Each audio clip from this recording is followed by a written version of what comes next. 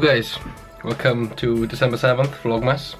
Still haven't even edited yesterday's Vlogmas yet, because I came straight home to edit this. I'm gonna edit that now, and I'm gonna edit the vlog that's meant to go up today, yesterday as you're watching this. And I'm gonna go watch Flash, and then in every ad I'm gonna watch this. Yeah. There it is, the full edited video of my reaction and breakdown to Avengers 4. Merry Christmas to us all. Check the home studios for the full video. There's a thumbnail complete. Just for the record, I've been watching this on loop for absolutely ages and I love it. Sam just goes, Nathania, this fit. Um, I'm I'm on phone now, boys.